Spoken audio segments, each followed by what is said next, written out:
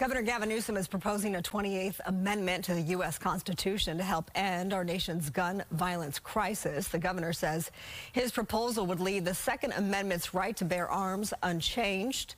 The four key points of this proposal include raising the minimum age to buy a gun from 18 to 21.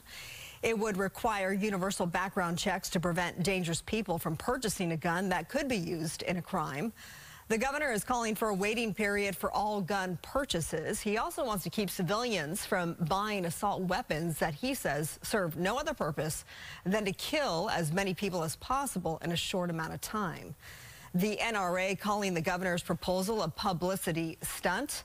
That quote once again shows that his unhinged contempt for the right to self-defense has no bounds.